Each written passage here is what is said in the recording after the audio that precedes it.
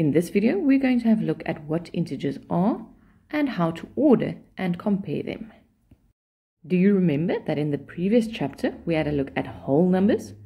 This is the set of numbers that starts at zero and increases with one every time up to infinity.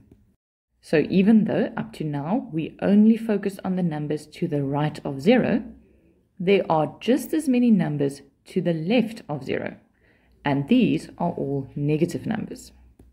So we have negative numbers and positive numbers that are separated by the zero, and these two groups of numbers are each other's mirror image.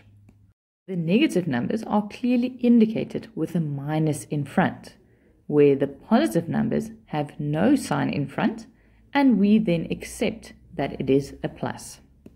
All of these numbers together form a new set of numbers which we call integers. An example of where integers will be used is when we measure sea level.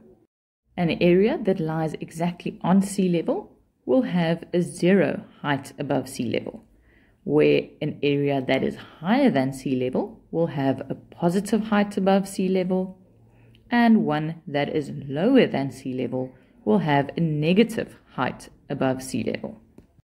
Another example will be temperatures. A temperature of 0 degrees Celsius is where water freezes. Anything warmer than this will be a positive temperature, and anything that's even colder will be negative.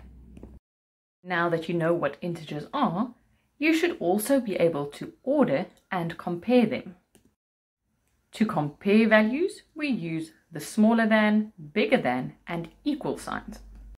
As we move to the right on our number line, the values become bigger and bigger. And as you move to the left on the number line, the values become smaller.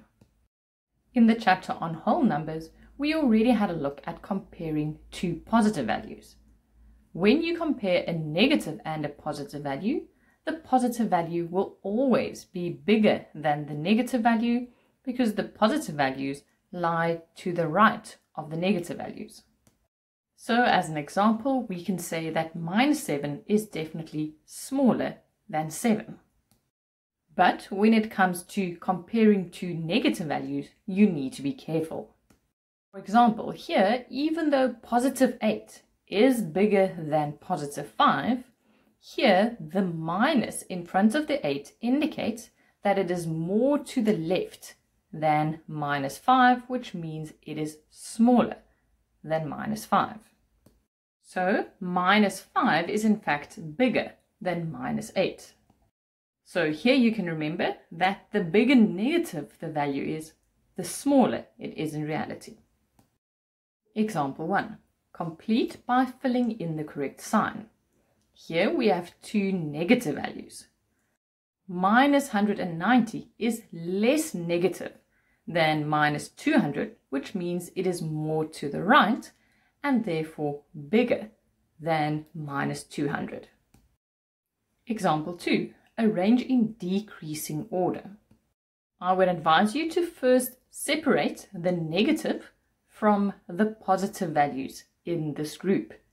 It is also important to realize that you are asked to arrange in descending order, which means from biggest to smallest, and in essence then from right to left on our number line.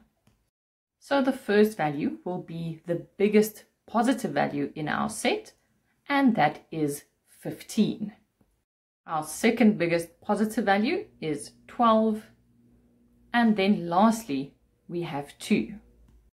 Next, we have the zero, and then comes all our negative values.